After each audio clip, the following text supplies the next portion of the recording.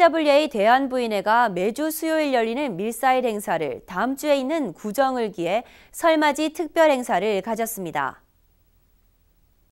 대한부인회로부터 홈케어 서비스를 받는 어르신들과 바로 옆에 있는 대한부인회 아파트 입주노인 또는 밀사이트에 참여하기 위해 방문한 약 170여 명의 어르신들은 설을 맞아 한복을 곱게 차려입은 대한부인회 임원들의 환영을 받으며 빙고 게임을 하는 등 즐거운 시간을 보냈습니다.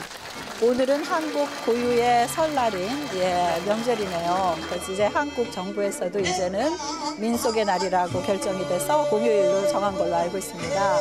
오늘 부모님들 다 모시고 한 거의 한 170명 정도가 오신 것 같아요. 아, 이렇게 부모님들 다 모시고 또 저희의 음력설이라고 다들 이제 덕담도 나누시고 또 굉장히 행복해 보이세요.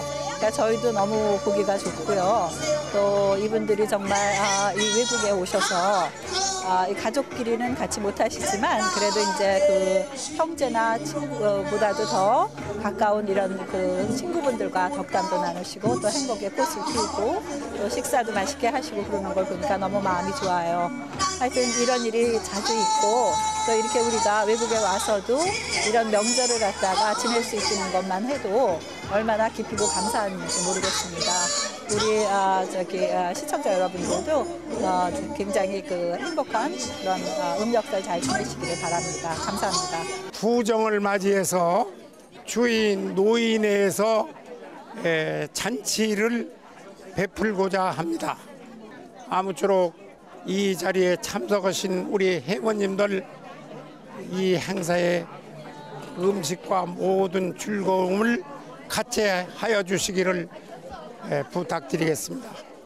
국악 한마당의 창이 시작되자 흥인한 어르신들은 앞에 나가 흥겹게 춤추며 이민 생활에서의 시름을 달랬습니다.